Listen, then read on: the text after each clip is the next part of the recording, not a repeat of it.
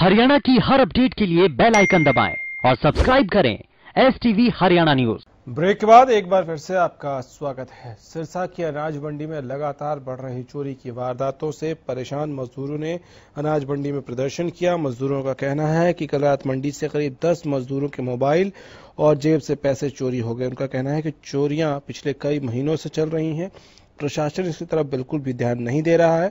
उन्होंने प्रशासन से मांग की है कि मंडी में सुरक्षा व्यवस्था बढ़ाई जाए ताकि रात को होने वाली चोरियों पर रोक लग सके।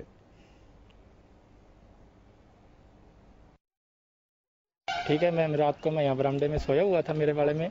ठीक है, रात को तकरीबन बारह, साढ़े बारह बजे मैं देखा भी मेरा मोबाइल नहीं है। ठीक है, मैंने ये मेरे बड़े भाई हैं, पवन कुमार जी। ठीक है, मैंने इनके लड़के को उठाया। भाई साहिल, ऐसे ऐसे बात हो गई? ये बोला मेरा फ़ोन भी नहीं है, चाचा। मैं तेरा फ़ोन भी नहीं है। फिर पता लगा बावन नंबर का लड़का है, जो उसके काम करता है, उसका फ़ोन भी नहीं था। सुबह पता लगा अड़तालीस नंबर का ठेकेदार है नेहरू, ये अंकल जी खड़े।